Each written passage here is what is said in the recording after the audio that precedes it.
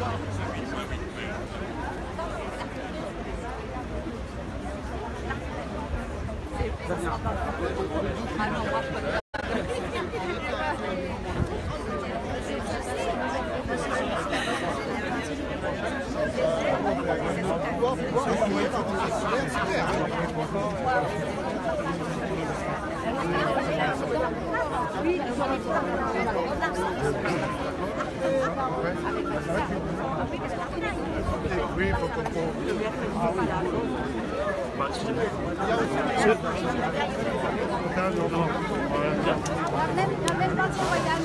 C'est pas ça. Excusez-moi.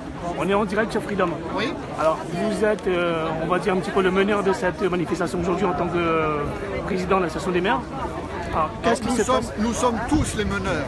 Que ce soit bien clair, c'est bien les 24 communes qui l'intérêt commun et collectif, l'intérêt des familles et des enfants, pour assurer leur sécurité dans le transport, les cantines et la surveillance des écoles pour la rentrée scolaire de 2018.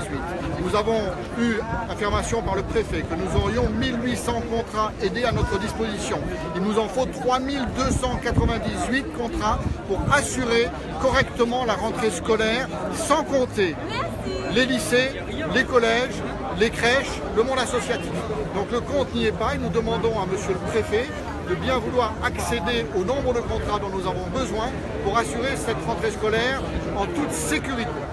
Donc, vous allez tous se rencontrer dans 5 minutes. Nous allons être reçus par monsieur le préfet, tous les maires, avec les parlementaires, pour justement euh, avoir son, lui remettre la déclaration collective des maires et présidents d'a- d'agglomération. Est-ce que vous pensez que cette mobilisation aujourd'hui va porter ses fruits vous pensez que c'est. Écoutez, si nous n'avions pas cet espoir-là, nous ne serions pas là aujourd'hui. Donc c'est bien dans l'espoir d'avoir ces contrats aidés, d'avoir, de pouvoir faire rentrer nos enfants en toute sécurité dans les écoles. Et si, admettons, espérons que ça se passe bien, admettons que ce ne soit pas le cas, la rentrée compromise Monsieur, nous en reparlerons lorsque nous aurons vu le monsieur le préfet. Merci à vous. Monsieur, monsieur Poisson, euh, pourquoi le représentant de la mairie de Sany Il y a quelque chose que vous, comme la plus grosse commune de la sécurité, grande sécurité. Oui, non, c'est libre, mais ça, ça vous interpelle pas le un- À vous de l'écrire dans vos articles. Parce que il y a du monde. On a quand même la mairie de.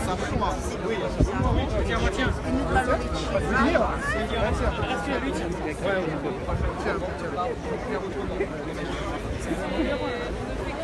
C'est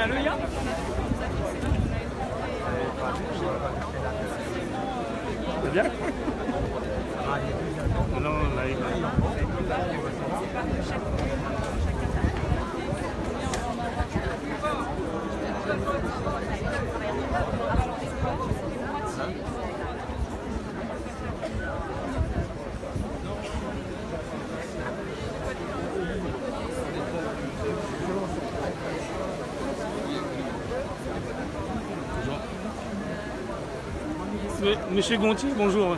Excusez-moi. En direct sur Freedom. Donc, vous êtes là aujourd'hui, vous êtes présent bien sûr. Quelles sont vos revendications, vous personnellement, pour vos communes de Brampanon D'abord le respect euh, de la parole donnée, hein, puisque jusqu'à maintenant l'insertion est, est important pour la population réunionnaise. On doit faire ouvrir ces écoles et on ne peut plus travailler dans ces conditions. Maintenant, l'insertion, c'est en même temps permettre à, des gens d'avoir un projet, savoir pourquoi ils se lèvent le matin, mais en même temps pour la collectivité, c'est aussi permettre un parcours pour le retour à l'emploi. Pour ceux qui disent aujourd'hui que euh, l'emploi aidé est un emploi à caractère politique, je pense qu'aujourd'hui, ceux qui le disent se trompent parce qu'aujourd'hui, avoir le courage, j'allais dire, d'accepter un contrat aidé parce qu'on ne peut pas faire autrement, moi je ne parle pas de chômeurs aujourd'hui. Je parle de personnes, femmes et hommes, privés d'emploi. Donc je dénonce aujourd'hui pour notre collectivité, sur la commune de Brapanon, des femmes et des hommes privés d'emploi, définitivement. Est-ce que vous attendiez un petit peu à ce genre de, Écoutez, de réaction du gouvernement? M. Macron l'avait dit pendant sa campagne qu'il n'y aurait plus d'emplois aidés, que son gouvernement futur ne ferait pas d'emplois aidés. J'ai milité pour dire attention à ce danger. Mais je vois que parfois, eh ben, c'est né que dans le mur que devant le mur, qu'on voit qui est M. Macron et qui est son gouvernement.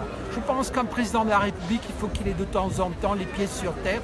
Ça aurait été bien qu'il soit maire, conseiller général, conseiller municipal, simple citoyen de base, pour qu'il y ait ce dialogue. Le dialogue est rompu avec la population, mais en même temps mais avec les élus, parce que quoi qu'il en soit aujourd'hui, c'est un projet de solidarité, l'emploi aidé, et pas autre chose. Merci.